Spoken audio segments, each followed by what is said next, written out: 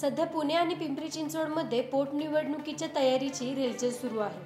भाजपाच्या मुक्ता टिळक आणि लक्ष्मण जगताप यांच्या निधनामुळे या जागा रिक्त झाल्या आहेत. त्यामुळे पुणे शहरातील कसबा व पिंपरी चिंचवडची पोटनिवडणूक सत्तावीस फेब्रुवारी रोजी होत आहे. ही निवडणूक बिनविरोधी होण्याची शक्यता कमी झाली आहे. कारण कसबा मतदारसंघासाठी महाविकास आघाडीतील तिन्ही पक्ष निवडणूक लढवण्यास इच्छुक आहेत. दरम्यान राष्ट्रवादीकडून रुपाली ठोंबरे पाटील यांनी निवडणुकीसाठी तयारी सुरू केली आहे. त्यांच्यानंतर आता उद्धव ठाकरे गटानेही कसब्यातून निवडणूक लढवण्याची तयारी केली आहे. कसब्याची जागा उद्धव ठाकरे गटाला देण्याची मागणी माजी नगरसेवक विशाल धनवडे यांनी केली आहे.